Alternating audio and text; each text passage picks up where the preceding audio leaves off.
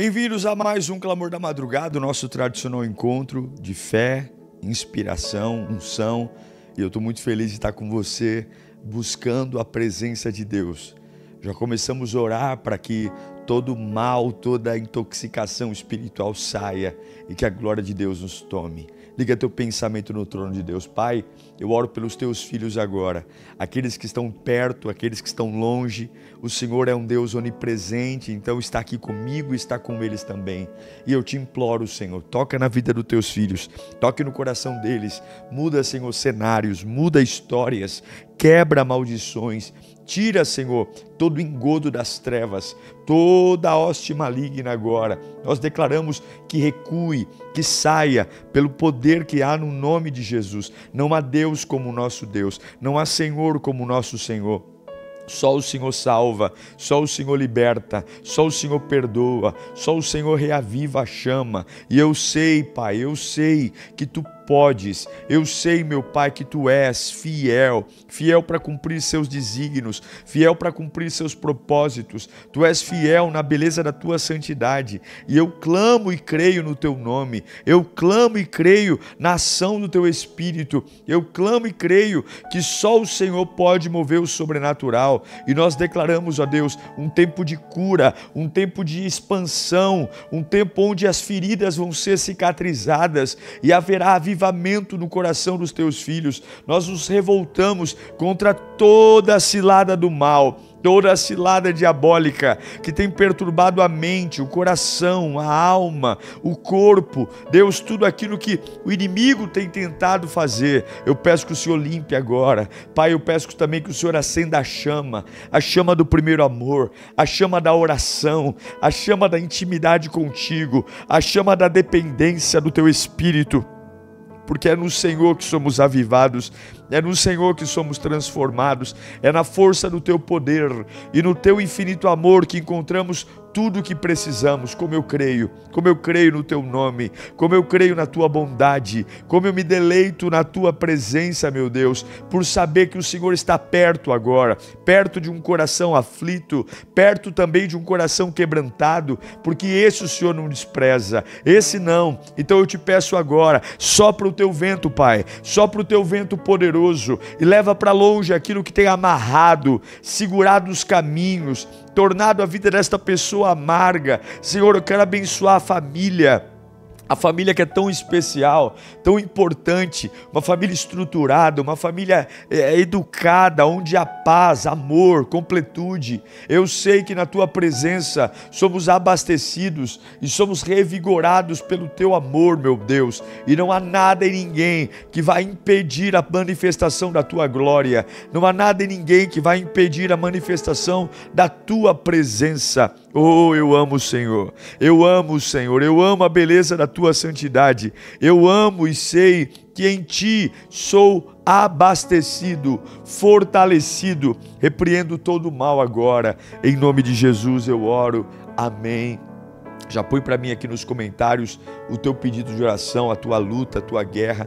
Por favor, pega esse link, manda para alguém, manda para um amigo, para um familiar. Nós vamos orar já já por mais situações. Quero mandar um beijo para as crianças e deixa pedir, deixa o like, se inscreva no canal. São movimentos simples, fáceis, que ajudam muito aqui o Clamor da Madrugada e o nosso canal a alcançar mais e mais pessoas, ok? Uh, fazendo sua lição de casa, eu quero deixar um texto, Gálatas capítulo 6, verso 9, fala assim o apóstolo Paulo: Não se cansem de fazer o bem, pois no tempo certo colheremos, se não desanimarmos. Veja que a condicional para dar tudo errado é o desânimo. O desânimo sempre paralisa as mãos. O desânimo tira de nós a atitude. E a própria Bíblia diz que sem atitude a fé é morta. E sem fé é impossível agradar a Deus. Então não se canse de fazer o bem. Ainda que esteja num ambiente tortuoso, negativo, pessoas ruins. A sua essência é o bem. E se você não se cansar de fazer o bem, há uma promessa: no tempo certo colheremos, se não desanimarmos. Por que, que Paulo fala sobre o desânimo? porque algumas vezes fazer o bem é algo incompreensível para os outros. As pessoas nos julgam porque querem que a gente reaja conforme o ambiente, a atmosfera, e não, nós somos filhos de Deus, dependentes do Altíssimo. Na presença de Deus, nós somos renovados de glória em glória, de fé em fé, de vitória em vitória. Somos renovados, abastecidos e revigorados. E eu sei que a tua casa precisa de atitudes. Uma pessoa me perguntou por esses dias como que eu mudo um pensamento. Eu disse: você muda o pensamento quando você muda uma atitude ainda com um pensamento velho e ao longo do tempo uma atitude nova vai desidratando o pensamento velho. É ter a coragem de ainda com uma mente com pensamentos antigos, você colocar vida nova nas suas atitudes. Novos comportamentos matam pensamentos antigos e trazem pensamentos novos. Por isso que Paulo diz: se você não desanimar em fazer o bem, se você não desanimar em estar ligado à videira, a Cristo, não se importa com as risadinhas, com as caras feias, com os boatos, mas se você seguir em frente, Deus estará com você. Deus estará. Eu gosto muito de, de, lidar com isso, porque quando você evita o desânimo, e a única forma de você evitar o desânimo é a perseverança. Algumas coisas eu faço da minha vida e não pergunto para mim como eu estou me sentindo. Porque se eu for responder como eu estou me sentindo, a minha vontade é deitar. Eu simplesmente vou e faço o que tem que fazer. E vou e vou colher. E glória a Deus por tantas coisas que eu fiz apenas na força do ódio, ou fiz apenas no impulso e depois eu digo que maravilha que eu fui. Que bênção que eu tive coragem de avançar. Que bênção que eu fui, porque valeu a pena. Que toda a paralisia, que todo sentimento de revolta, que está travando o seu avanço, travando a sua prosperidade, que caia por terra em nome de Jesus e que você seja habilitado a viver o novo, habilitado a viver as mais lindas e belas promessas de Deus, que a tua dianteira, a tua retaguarda, a tua esquerda, a tua direita sejam renovadas de glória em glória pela unção de Deus, que quebra o jugo, despedaça muralhas e muda histórias e cenários. Eu creio na bondade de Deus eu creio na fidelidade de Deus. Eu quero ler alguns pedidos de oração aqui. A Gildete Oliveira pede oração pela vida dos netos, libertação dos vícios. A Tina Pedro pede oração pela restauração da família. A Andresa Paixão pede oração pelo neto que está enfermo. A Flávia Freire pede oração pela cura da depressão do filho Daniel. O Roberto Wagner pede oração para que o Senhor livre o meu filho Rafael do vício das drogas. Nós vamos orar agora e eu sei que Deus pode gerar milagres, provisão e vida eterna. Espírito Santo de Deus, na tua presença nós estamos. E mais uma vez, olhando para a tua palavra, o Senhor nos incentiva a não nos cansar de fazer o bem, a não nos cansar de semear a tua palavra, de dar testemunho, de confiar na bondade do teu amor e na fidelidade que está em ti a capacidade de olhar para o alvo que é Cristo e seguir em frente, crendo que o Senhor nunca nos abandonará, nunca nos deixará, porque tu és fiel. O Senhor é fiel, a tua presença é fiel, o teu amor é leal. Deus, nós nunca estaremos desamparados. Eu oro agora por esse meu irmão e essa minha irmã que tem sido seduzido a abrir mão do bom, a abrir mão da tua presença, a abrir mão da tua glória, para sentar a roda de escarnecedor, para ouvir conselho do ímpio, Senhor. Alguns dizem: se você não jogar o jogo como eu jogo, você não vai vencer. Se você não usar as armas que eu uso, você vai, não vai triunfar. E isso é mentira. Nós vencemos vencemos com as armas da fé, nós vencemos com as armas que vêm de Deus, nós vencemos com a santidade, com a força do Espírito Santo,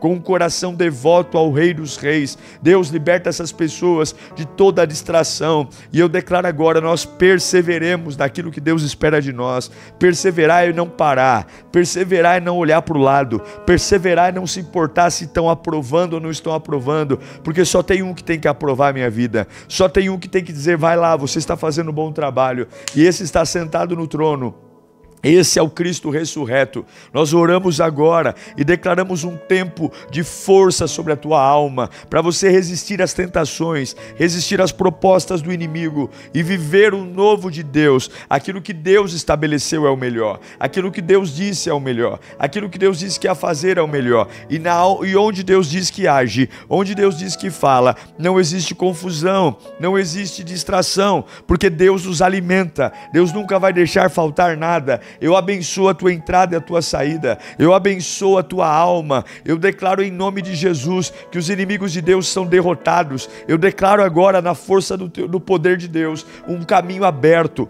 Pai, eu intercedo por cada pedido de oração feito aqui no chat, todas as batalhas e todas as guerras aqui colocadas, eu oro e peço, manifesta o teu querer, quebra cadeias, quebra grilhões, quebra amarras, quebra ferrolhos, meu Deus, opera milagres, eu creio em milagres, eu creio em provisão eu creio em porta aberta, eu creio no sobrenatural, eu creio que quando Deus age, ninguém pode impedir o agir de Deus, ninguém pode parar o agir de Deus, ninguém pode conter o agir de Deus. Eu oro e creio, eu oro e confio, eu oro e deposito no Senhor a minha esperança. Eu sei que o Senhor é tudo o que eu preciso, e na força do teu poder e no teu infinito amor eu oro e declaro as mais lindas bênçãos, as bênçãos que vêm do Autor e Consumador consumador da nossa fé, muda histórias, quebra cenários. Desfaz, meu Deus, o engodo das trevas, e eu oro agora. Deus, do alto da cabeça, planta dos pés, abençoe esse teu filho e essa tua filha. É o que eu te peço em nome de Jesus. Pai nosso que estás nos céus, santificado seja o teu nome, venha a nós o teu reino. Seja feita a tua vontade, assim na terra como nos céus. O pão nosso de cada dia nos dai hoje. Perdoe nossas dívidas, assim como perdoamos os nossos devedores não nos deixeis cair em tentação, livra-nos do mal, porque teu é o reino, o poder e a glória para sempre. Amém, amém. Que Deus te abençoe. Ore sempre, clame sempre e até o próximo clamor da madrugada. Beijo, tchau.